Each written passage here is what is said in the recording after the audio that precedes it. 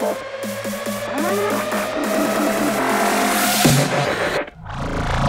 there, my name is Richard Sharpe. I'm a uh, public health practitioner at Cornwall Council. Uh, one of my areas of work is looking at, at uh, people's mental well-being.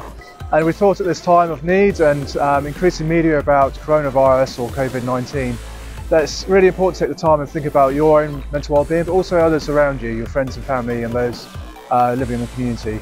Um, and there's some a lot of things you can do to help uh, protect your mental well-being, and that includes the five ways to mental well-being. And these are point one. So the first part of mental well-being is connect with people. So think about your friends and family, other people in the community you might not even know, and think about how you connect with them and, and um, start up new conversations or develop new friendships. And think about how you can link together um, uh, whether you're at home self-isolating or if you're working from a remote location, for example. Point two, so another important part is to be active.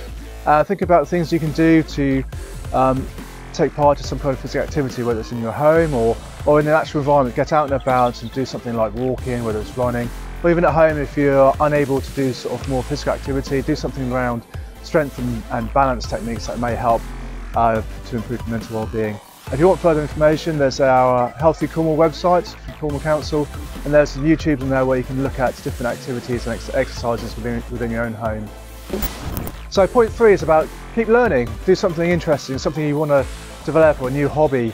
Um, thinking about um, how you can start up a new group, whether it's photography, painting, or even something simple like reading at home. Um, this can help develop new friendships, get out and about and meet others, for example. And this applies if you're self-isolating, you have to go out face to face, but you can also do something online, or whether it's picking up a telephone and talking about your hobbies to somebody else, for example.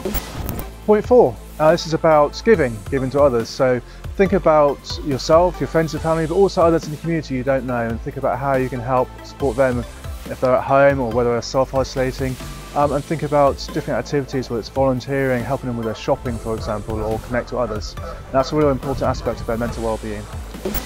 Lastly, the fifth part of uh, maintaining mental well-being is about um, taking notice, being mindful about your surrounding environment. This applies to you whether you're in your own home, um, but also in your outside natural environment, whether you're living in the countryside or in a, in a built environment.